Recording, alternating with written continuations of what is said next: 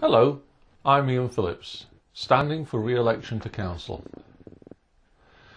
In the 21st century, we have become increasingly dependent on electronic systems technologies in every aspect of our lives.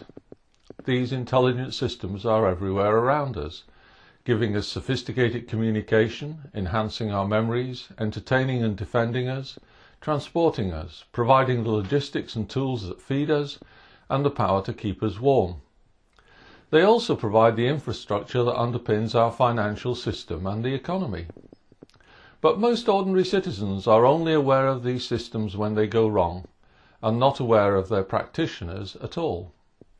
So, society needs its engineers and technicians to be more professional today than it ever has.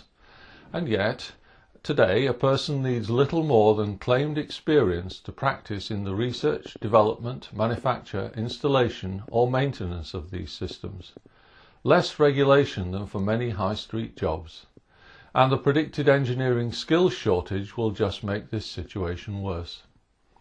So, my mission is to bring our invisible profession into the public eye, regulating professionalism as we do so and I believe the best way to achieve this is through the IET.